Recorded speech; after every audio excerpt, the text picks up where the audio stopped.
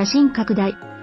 若カススタジアム京都で午後6時開始予定だったオリックスソフトバンク21回戦は27日午後2時45分に降雨のため中止と発表された。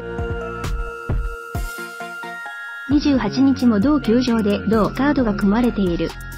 なお、京都市の28日午後6時以降の降水確率も90%となっている。